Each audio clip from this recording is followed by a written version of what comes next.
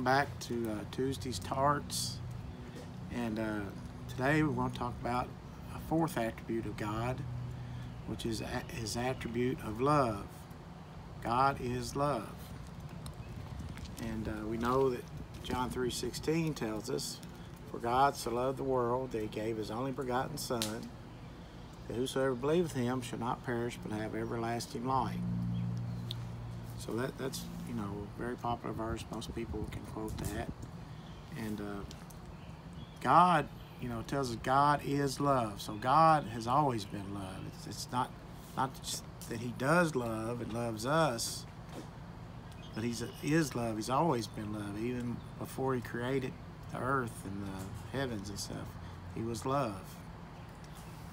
So, uh, want to share a passage of scripture from 1 John chapter 4 verses 7 through 21 and there's a lot of there's a lot of scripture we could use but uh, this is one I want to use today to talk about God's love. Again there in verse 7 of 1 John chapter 4 says beloved let us love one another for love is of God and everyone that loveth is born of God and knoweth God he that loveth not knoweth not God, for God is love. In this was manifested the love of God toward us, because that God sent his only begotten Son into the world that we might live through him. So, you know, tells us there, God is love. And if, you know, if we love God, we'll love others. And God showed his greatest love in that he sent his only begotten Son Jesus Christ coming down the cross and rise again to, to pay the penalty of our sins. And says, Herein is love, not that we loved God, but that He loved us. So He loved us first, even when we were sinners, and sent His Son to be the propitiation for our sins. That means a payment. You know, our sin has to be paid for, and there's no way that we can pay for it. But the only way it can be paid is by Jesus' shed blood. So we have to trust in that. Beloved, if God so loved us, we ought also to love one another. So if he loved us that much, we should love others. No man has seen God at any time. If we love one another, God dwelleth in us, and his love is perfected in us. So when we love others, we're, we're showing God's love through us and you know other people can see you know the love of God through our witness.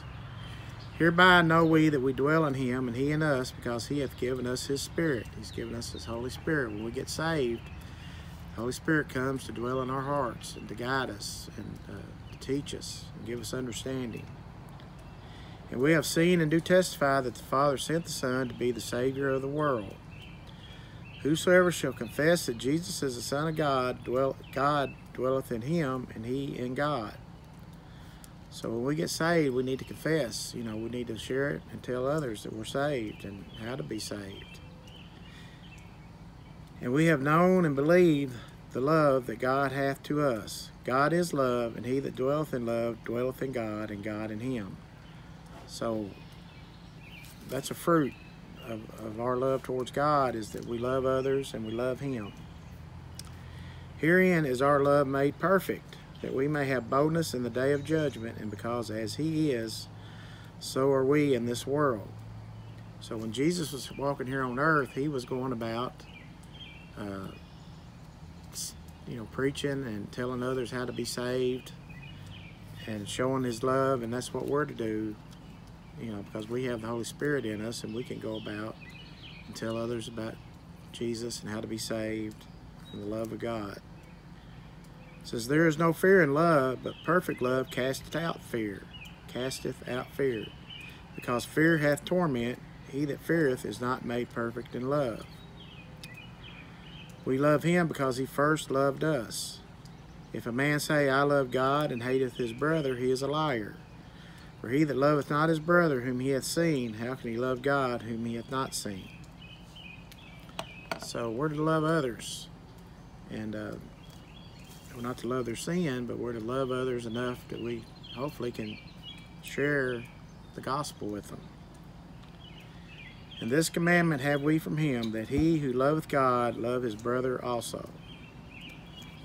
So we're supposed to have love for for for people that uh, they'll get saved and to be a witness to them, a witness of Jesus and His salvation.